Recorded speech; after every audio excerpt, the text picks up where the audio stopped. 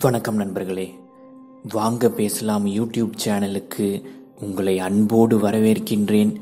என்னோட பேர் நம்பிக்கை கண்ணன். இந்த சேனல்ல வாரா வாரம் திங்கட்கிழமை ஒரு புது வீடியோ வெளிவரும். அதை நிச்சயமா பாருங்க. உங்க நண்பர்கள்கிட்டையும் சொல்லுங்க. இன்னைக்கு நாம் எதை பத்திங்க பேச போறோம்? வாழ்க்கையில வெற்றியும் வேண்டும் மகிழ்ச்சியும் வேண்டுங்க. நிறைய பேர் பிரபஞ்ச ஈர்ப்பு விதியை பயன்படுத்தி வீடு வேணும்னு கேட்குறாங்க கிடைச்சிருக்கு கார் வேணும்னு கேட்குறாங்க கிடச்சிருக்கு வாழ்க்கை துணை நல்ல முறையில் வேணும்னு கேட்குறாங்க கிடச்சிருக்கு. இருந்தாலும் இவ்வளவு கிடைத்தாலும் கூட அவங்களோட வாழ்க்கையில் மகிழ்ச்சி என்பது ஒரு கேள்விக்குறியாக இருக்கின்றது. மகிழ்ச்சி என்பது எட்டாத ஒரு கனியாக இருக்கின்றது. இதுக்கு என்ன காரணம்? இதை எப்படி சரி செய்யறது? இதை தெரிஞ்சுக்கிறதுக்கு இந்த வீடியோ நீங்க ஃபுல்லா பாருங்க. வாங்க பேசலாம். யூடியூப் சேனலுக்கு சப்ஸ்கிரைப் பண்ணிடுங்க. சப்ஸ்கிரைப் பண்ண உடனே நீங்க ஒரு பெல் சிம்பிளை பார்ப்பீங்க அந்த பெல் சிம்பிளை கிளிக் பண்ணிடுங்க. ஸ்க்ரீனில் ஒரு வாட்ஸ்அப் நம்பர் தெரியுங்க. அதுக்கு ஒரு மெசேஜ் அனுப்புங்க. தினமும் பயனுள்ள தகவல்கள் உங்களோட ஃபோனுக்கு வந்து சேரும். வாழ்க்கையில் வெற்றியும் வேண்டும் மகிழ்ச்சியும் வேண்டுங்க. இது ரெண்டுமே வேற வேற. நிறைய பேருக்கு இது தெரியறதில்ல. இதுதான் நிறைய பேரோட வருத்தத்திற்கு காரணமாக அமைகின்றது. நிறைய பேர் வாழ்க்கையில் மகிழ்ச்சி இல்லாமல் போகிறதுக்கு இதுதான் காரணமாக இருக்குது ஏன்னா அவங்களுக்கு ஒரு முக்கியமான விஷயம் தெரியல. வெற்றி என்பது வேறு மகிழ்ச்சி என்பது வேறுங்க. நீங்கள் ஏழையாக இருக்கலாம் பணக்காரனாக இருக்கலாம் எப்படி இருந்தாலும் கூட உங்களோட வாழ்க்கையில் உங்களுக்கு பிடித்ததும் நடக்கும் பிடிக்காததும் நடக்கும். இதுதாங்க உண்மை. எவ்வளோ பெரிய பணக்காரனாக வேணாலும் நீங்கள் இருங்க. எவ்வளோ உயரத்துக்கு வேணாலும் நீங்கள் போங்க. ஆனால் உங்களுக்கு பிடித்ததும் நடக்கும் உங்களுக்கு பிடிக்காததும் நடக்கும். பிடிச்சது நடக்கும்போது நல்ல ஜாலியாக இருக்கிறது கொண்டாடுறது. அப்படி இருக்கிற நீங்கள் பிடிக்காத விஷயம் நடக்கும்போது அப்படியே ஏங்கி ஏங்கி ஏங்கி வருத்தம் அடைந்து வருத்தம் அடைந்து உங்கள் மனதை நீங்கள் வந்து பாதிப்படைய செய்கிறீங்க மகிழ்ச்சியான வாழ்க்கை எனக்கு கிடைக்கல அப்படின்னு வேதனை அடைகிறீங்க ஒரு உதாரணம் உங்களுக்கு சொல்கிறேங்க நீங்கள் டிவி பார்த்துக்கிட்டு இருக்கீங்க. உங்களுக்கு பிடிச்ச ஒரு நிகழ்ச்சியை பார்த்துக்கிட்டு இருக்கீங்க. நிகழ்ச்சி போயிட்டுருக்கு. திடீர்னு விளம்பரம் போடுறாங்க. உங்களுக்கு வந்து அந்த நிகழ்ச்சி பிடிக்கும் விளம்பரம் பிடிக்காது. ஆனால் இது ரெண்டும் சேர்ந்தது தான் அந்த நிகழ்ச்சி.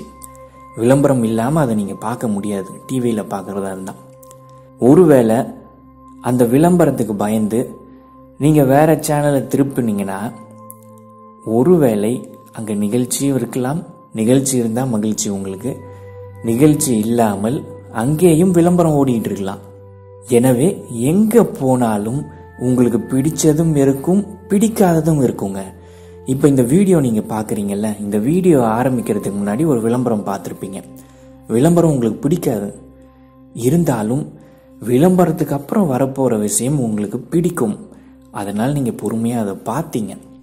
இன்னொரு உதாரணம் உங்களுக்கு சொல்கிறேங்க இல்லற வாழ்க்கை திருமண வாழ்க்கை. அந்த திருமண வாழ்க்கையில் உங்களுக்கு பிடித்ததும் நடக்கும் உங்களுக்கு பிடிக்காததும் நடக்கும். உங்களோட வாழ்க்கை துணை செய்கின்ற சில செயல்கள் உங்களுக்கு உச்சக்கட்ட மகிழ்ச்சியை கொடுக்குது. ஆனால் சில செயல்கள் உங்களுக்கு பிடிக்கல. உங்களுக்கு மன வருத்தத்தை ஏற்படுத்துது. உங்களோட மகிழ்ச்சியை கெடுக்குது. உங்களுக்கு கவலையை தருது. உங்களுக்கு வேதனையை தருது. திருமண வாழ்க்கையிலும் கூட உங்களுக்கு பிடித்ததும் நடக்கும் பிடிக்காததும் நடக்கும். சில பேர் என்ன திரும்ப பண்ணுவாங்க?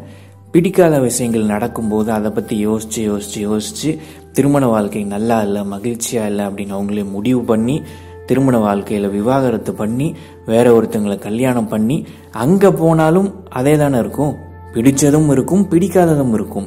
அங்கே திரும்ப பிடிக்காததை நினச்சி கவலைப்பட்டு கவலைப்பட்டு எனக்கு சரியாக வாழ்க்கை துணையே அமைய மாட்டேங்குதே அப்படின்னு தன்னைத்தானே வருத்தப்படுத்தி கொண்டு பிறரையும் வருத்தப்படுத்தி ஒரு வேதனையான வாழ்க்கை வாழ்ந்துட்டு இருக்காங்க.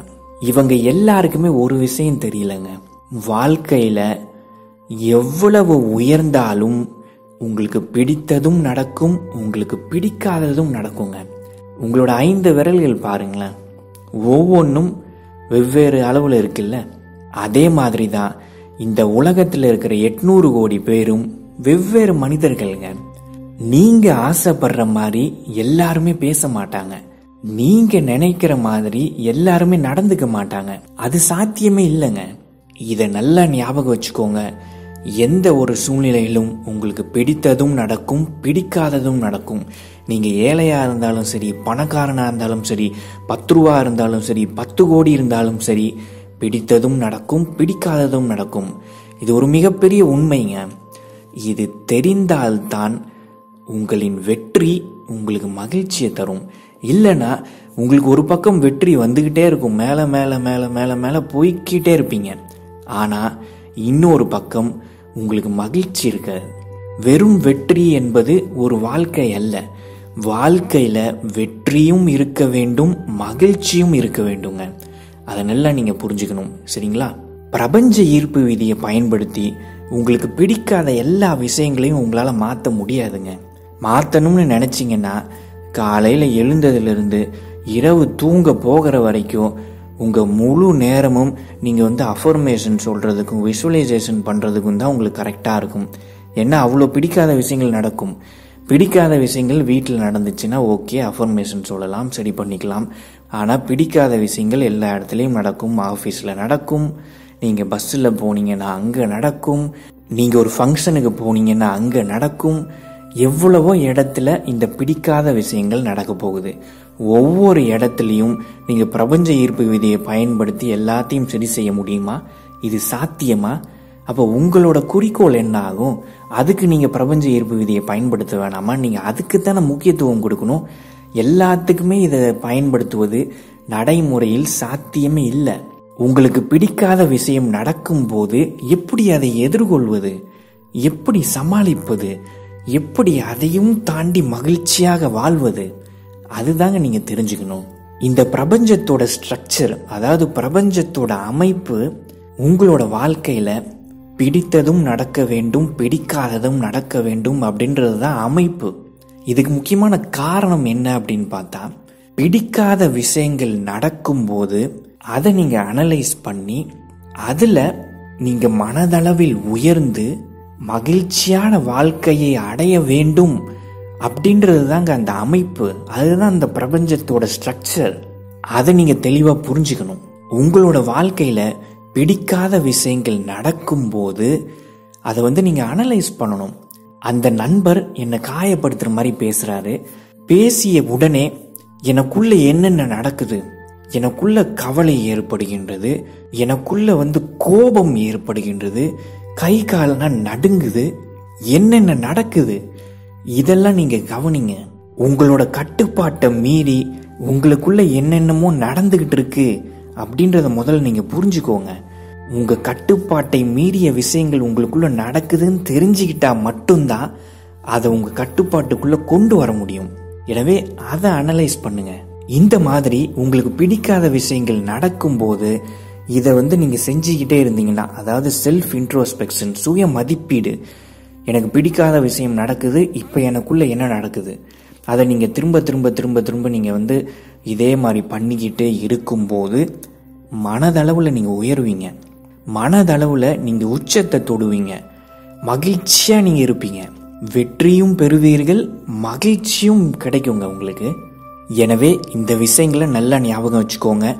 வாழ்க்கையில் வெற்றி என்பது வேறு மகிழ்ச்சி என்பது வேறு. இது ரெண்டுமே உங்களுக்கு கிடைக்கணுங்க. அடுத்தது வாழ்க்கையில் நீங்கள் ஏழையாக இருந்தாலும் பணக்காரனாக இருந்தாலும் எவ்வளோ பெரிய உச்சத்தை தொட்டாலும் உங்களுக்கு பிடித்ததும் நடக்கும் உங்களுக்கு பிடிக்காததும் நடக்குங்க. இந்த பிடிக்காதது நடக்கும்போது அதை வந்து நீங்கள் உங்களுக்குள்ளேயே செல்ஃப் இன்ட்ரோஸ்பெக்ஷன் செய்து கொண்டு மனதளவில் வளர்ந்து மகிழ்ச்சியான வாழ்க்கையை நீங்கள் வாழணுங்க. இப்போ கமெண்ட் பதிவு பண்ணுற நேரம் வந்துருச்சுங்க. என்ன கமெண்ட் பதிவு பண்ணலாம்? நான் மகிழ்ச்சியாக வாழ்கின்றேன். நான் மகிழ்ச்சியாக வாழ்கின்றேன் அப்படின்ற கமெண்ட்டை பதிவு பண்ணுங்க. இந்த கருத்து உங்கள் மனதில் பதியட்டும். இந்த கருத்து உங்கள் ஆள் மனதில் பதியட்டும். இந்த கருத்து பிரபஞ்சத்திடம் செல்லட்டும். ஒவ்வொரு முறை உங்களுக்கு பிடிக்காத விஷயம் நடக்கும்போது பிரபஞ்சம் இதை உங்களுக்கு நினைவுபடுத்தட்டும். என்னுடைய மனமார்ந்த வாழ்த்துக்கள்ங்க. நீங்கள் ஃபேஸ்புக் டெலகிராம் இன்ஸ்டாகிராம் இதெல்லாம் இருந்தீங்கன்னா என்னை ஃபாலோ பண்ணுங்கள் இது எல்லாத்துலேயுமே பயனுள்ள கருத்துக்களை உங்களுக்காக நான் கொடுத்துக்கிட்டு இருக்கேங்க. இவ்வளவு நேரம் இந்த வீடியோ பொறுமையாக பார்த்த உங்கள் அனைவருக்கும் என்னுடைய மனமார்ந்த நன்றி. வணக்கம்.